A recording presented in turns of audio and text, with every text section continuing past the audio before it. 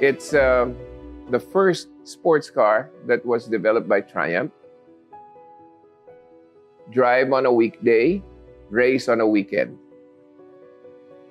It's a car that makes a driver out of you. My name is Eddie Salonga, and I drive a Triumph TR2 1954.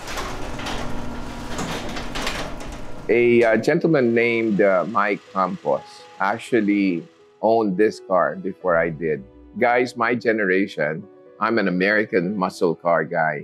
Didn't know anything about British sports cars or sports cars at that uh, point. And so here comes Mike, who says, uh, Nice car you got. And that car that he was admiring was a Plymouth Duster. And uh, he said, Who did the work?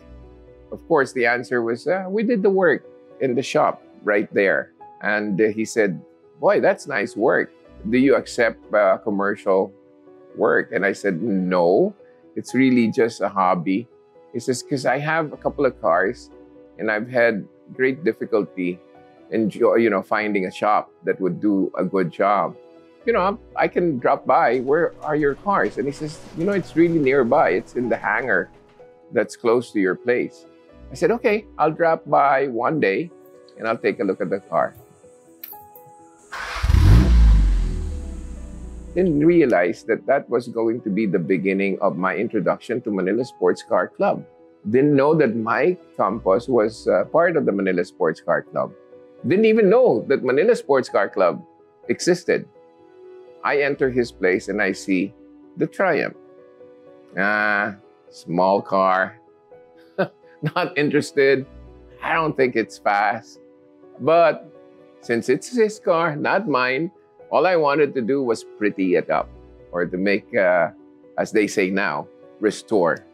So one day he says, uh, You're doing a great job on the car. And uh, I think I'd like to show it now to the Manila Sports Car Club. He says, Can you bring it over?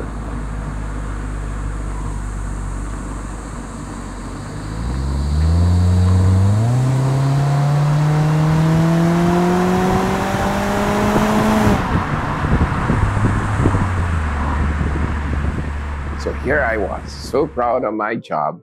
And I, I was swearing, I said, those guys are gonna love this. This is the best work ever.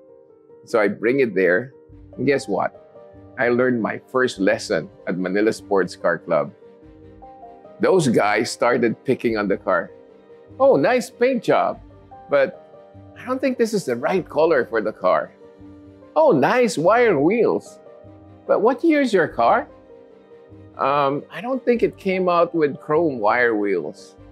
I was like, oh, da, da, da, da, da, da, da, da, what's going down? And finally, I realized, boy, these guys know their cars. Mike was relying on me to do a good job on his car. And he, in fact, he was paying me. And I didn't want, you know, to uh, let him down, right? So, and that got me going on, I need to research now. Here I was, from an American car guy I started pouring my head over English cars. The guys were so friendly enough to uh, offer me some uh, assistance on how to do it right. These guys don't really berate you, they just tell you what, what is right. And then you, if you humble yourself enough, you realize that these guys are there to help you, not to belittle you or even look down on you. It's just to help you out. And, and that's what I got. I got not only help, but really good mentoring on how to do this uh, interest that I have.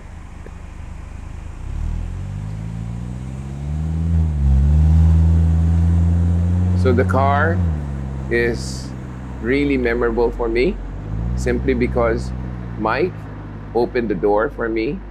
MSCC or Manila Sports Car Club opened the uh, avenue for learning and now, as you can see, enjoyment is the uh, reward for this car. I did do some stint with this car uh, during the, uh, I think, the second vintage or historic races of Manila Sports Car Club. But I guess the guy in me that wants to preserve cars, restores cars, at the end of the day, I said, ah, I can't bear pushing this car. eight laps. I mean, it's just eight laps, but it was killing me. Um, I wasn't probably built to abuse cars.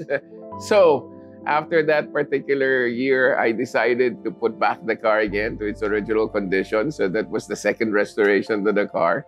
And uh, happily kept it that way. And uh, I just joined the short runs and enjoyed the car for what it is. Um, took it out early in the morning, drove around, and um, really went on and enjoyed it. I got introduced into the club, but I actually developed a lot of friends, real friends that share the same idea, same enthusiasm.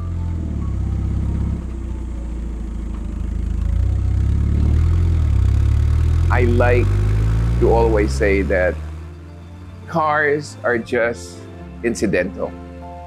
The friendship actually is the one that's really important.